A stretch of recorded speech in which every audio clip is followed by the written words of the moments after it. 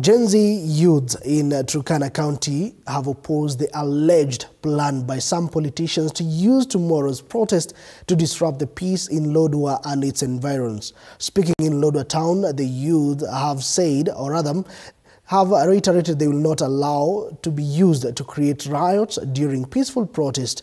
They have vowed to continue with a peaceful protest that is tomorrow, Tuesday, and face those who try to create riots and disrupt the process.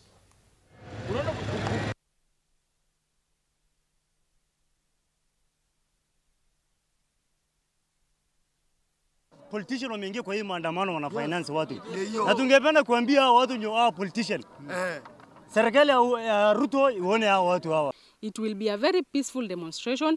We have our field marshals, marshals who will be there to make sure that hakuna kitu ya mtu itaguzwa. hapa kaunti ya Turkana tutakubali. Sasa hizi tunaambia watakuja kuchoma kaunti ya governor, watakuja kuchoma ingine kutoka public service board. Sisi hatutakubali kama Gen Z ya hapa Turkana, na hatutakubali. That the first thing. Leo tuko hapa kuambia hao if they want to try let them try tomorrow. Wacha jaribu kesho tufesia nao tuambie hao ukweli wa maneno, kwa sababu ni kama kuna venye uh, we know them they have been financiers, wamefinanziwa. Nasikia hata wanaletwa na magari, wacha waletwe na magari, tupatane nao leo. Kama kutakuwa na maandamano ya amani, tutaenda wote tu, tuandamane kwa amani, lakini kama kuna wakora wanataka kutumika vibaya, sisi tutakuwa pale na tutakamata mtu ambaye anataka kwenda kuchoma nyumba ama duka ya mtu yeyote.